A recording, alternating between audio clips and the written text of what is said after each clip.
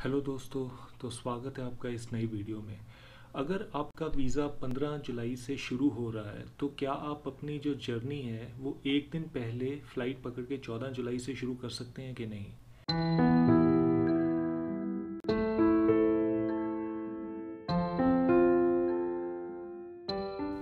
बिल्कुल ऐसी ही कुछ सिचुएशन मेरे साथ हो गई थी, जब मैंने पिछले साल 2019 जुलाई में मैंने रशिया का ट्रिप किया था। मेरा जो रशिया का वीज़ा लगा था, वो था 15 जुलाई से शुरू होना था। और जो मेरी फ़्लाइट्स की टिकट थी, वो मैंने एयर अस्ताना से बुक कर रखी थी और वो भी 15 जुलाई से शुरू हो रही थी। एक्चुअली उन दिनों में हुआ क्या कि पाकिस्तान का अगर आपको पता होगा, एयर स्पेस बंद चल रहा था, जिसके कारण इंडिया से जो भी रशिया जाने वाली सारी फ़्लाइट्स थी, वो नीचे बॉम्बे से होकर वो दुबई से एकदम घूमकर फ़्लाइट्स जा रही थी। अगर पाकिस्तान का एयर स्पेस खुला होता है तो हमारी जो इंडिया से रशिया की जाने वाली फ़्लाइट्स वो पाकिस्तान के एयर स्पेस के ऊपर से ही जाती हैं। तो खैर, उन दिनों में मेरी डेट्स में अचानक कुछ ऐसा हुआ कि एयर अस्ताना को मेरी जो फ़्लाइट है, वो प्री पोन करनी पड़ी। मतलब मेरा वीज़ा ऑलरेडी लग चुका था 15 जुलाई से जो शुरू होना था। मेरी फ़्लाइट ऑलरेडी बुक थी 15 जुलाई से, लेकिन एयर अस्ताना ने मेरी फ़्लाइट 14 जुलाई से शुरू कर दी। और मैंने खैर एक्सेप्ट कर लिया। लेकिन बाद में मुझे एहसास हुआ कि शायद मैं किसी दिक्कत में फंस सकता हूँ, क्योंकि मेरा जो बोर्डिंग जो मेरे प्लेन होगा, वो एक दिन पहले होगा। तो इसके लिए मैंने रशियन एम्बेसी में कॉल किया। तो मैंने एम्बेसी वालों को सारी सिचुएशन बताई। तो रशियन एम्बेसी ने मुझे कहा कि, देखो, आप इंडिया से, दिल्ली से आप बोर्ड करोगे प्लेन को 14 जुलाई को।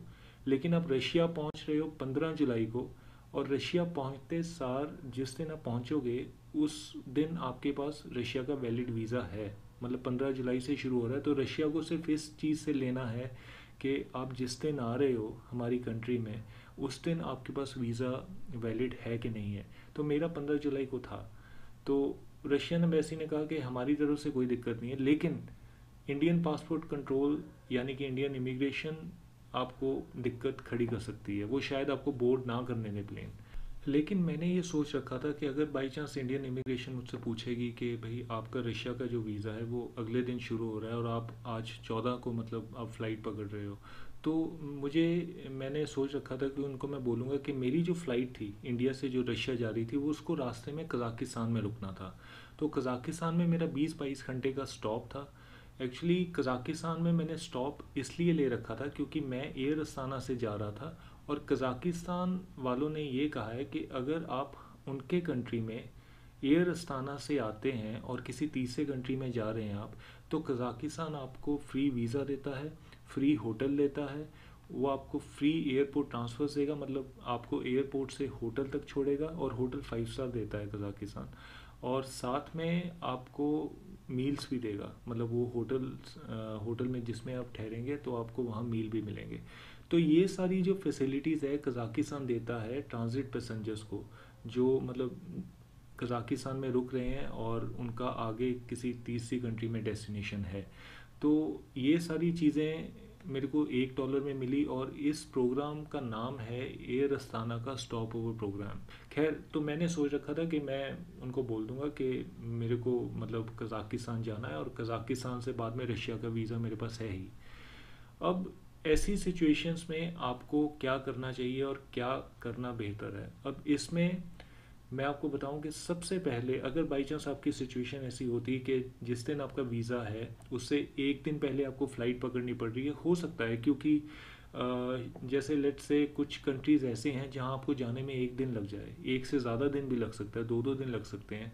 जैसे बीच में ले ओवर बड़ा पड़ सकता है किसी कंट्री में। तो अक्सर कई बार ये होता है कि हम एक दिन पहले टिकट बुक करवा लेते हैं अपनी। मुझे जानबूझ के नहीं कराते, लेकिन गलती से अगर ऐसा हो जाए कभी तो आपको बस इतना ध्यान रखना है कि जिस दिन उस कंट्री में आप एंटर हो रहे हो, उस दिन का, उस कंट्री का आपके पास वीज़ा है कि नहीं।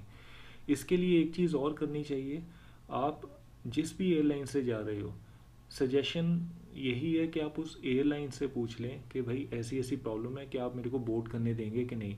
क्योंकि अगर बाई चांस उस कंट्री में आपको एंट्री नहीं मिली, अगर कोई प्रॉब्लम हो जाती है और उस कंट्री में आपको एंट्री नहीं मिलती है तो ये सारे का सारा जो जिम्मेवारी आपकी एयरलाइन पर आ जाती है, उनको फ़ाइन पे करना पड़ता है और एयरलाइन की ज़िम्मेदारी बन जाती है कि उस पैसेंजर को, जिसको उस कंट्री ने अलाउ नहीं किया एंटर करने के लिए, उसको वापस उसके देश में छोड़ के आना। तो ये सारा एयरलाइन पर होता है और एयरलाइन ये सारा खर्चा एक्सपेंस जितना भी एयरलाइन उठाती है, उसमें पैसेंजर को वापस आने के लिए मतलब कुछ पे नहीं करना पड़ता। तो इसलिए एयरलाइंस थोड़ी सी स्ट्रिक्ट हैं इस मामले में। मेरे साथ ये प्रॉब्लम इसलिए हो गई थी क्योंकि रशिया का जो वीज़ा है, वो जैसे बाकी एम्बेसीज देती हैं वीज़ा जैसे एक महीने का दे दिया, बीस दिन का या पंद्रह दिन का दे दिया, रशिया ऐसा वीज़ा नहीं देता आपको। रशिया जब आप वीज़ा एप्लीकेशन फॉर्म भरते हैं, उसमें जो आपने डेट्स लिखी होती हैं, जैसे मैंने लिखी थी पंद्रह से पच्चीस जुलाई तो मेरे को वो जो वीज़ा है पंद्रह से पच्चीस जुलाई तक का ही मिलेगा। तो सजेशन यही है कि जब भी आप वीज़ा अप्लाई करें, सबसे पहले तो डेट्स को आप थोड़ा सा पाँच छः दिन एक्स्ट्रा करें। मुझे करना चाहिए था दस जुलाई से तीस जुलाई। अगर मेरा दस दिन का भी प्रोग्राम है तो मैं बीच के मतलब बीस दिन अपने सेफ़ रखूँ, पाँच दिन पहले और पाँच दिन बाद में। इसका एक तरीका और है, जब भी आप किसी एम्बेसी में वीज़ा अप्लाई करते हैं तो आपको उस एम्बेसी वाले वो आपको बता देते हैं कि जैसे आपको पाँच दिन प्रोसेसिंग टाइम लगेगा आपको वीज़ा को अप्रूव करने में। तो आप अपने दिमाग में वो पाँच दिन लेकर चलें। लेट से आपने पंद्रह तारीख को वीज़ा अप्लाई किया है तो आप मान के चलें कि बीस तारीख तक आपको वीज़ा मिलेगा, अगर एम्बेसी वाले कह रहे हैं कि पाँच दिन लगते हैं। तो आप अपनी एयर टिकट्स जो हैं, वो एक हफ़्ते बाद की बुक करवाएँ। आप तेईस, चौबीस, पच्चीस तारीख से बुक अपनी करवा सकते हैं। बजाय कि आप बीस को करवाएँ या इक्कीस को करवाएँ। खैर, मैंने रशिया का वीज़ा लेने के लिए आप पहले एयर टिकट्स बुक कर रखी थी और फिर मैंने उनमें ही डेट्स डाल दी थी कि मेरी जो दिक्कत थी प्रॉब्लम थी, वो एयर स्पेस बंद होने के कारण आई थी। तो ये सारी चीज़ें जो आपको ख्याल रखनी है अगर आप थोड़ा सा इसमें ध्यान रखेंगे, अगर ऐसी सिचुएशन में आप फंसते हैं तो आप सबसे पहले अपनी एयरलाइन को कांटेक्ट करिए। एयरलाइन वाले आपको इसमें साफ़ साफ़ बता देंगे कि आपको बोर्ड करने देंगे कि नहीं। हालाँकि इतनी दिक्कत नहीं पड़ सकती है, लेकिन मैंने कई लोगों को देखा, मैंने ऑनलाइन कई फॉरम्स पढ़े हैं इसमें जिसमें लोगों ने कहा है कि उनका शेंगन वीज़ा जिस दिन शुरू हो रहा है, एक दिन पहले वो फ़्लाइट पकड़ रहे हैं। जैसा कि मैंने बताया, कई कई देशों में एक दिन से ज़्यादा टाइम लग जाता है फ़्लाइट और वहाँ तक पहुँचने के लिए। तो ये सारी चीज़ें हैं, ये बहुत इंपॉर्टेंट पॉइंट था जो मेसर रशिया में हुआ था।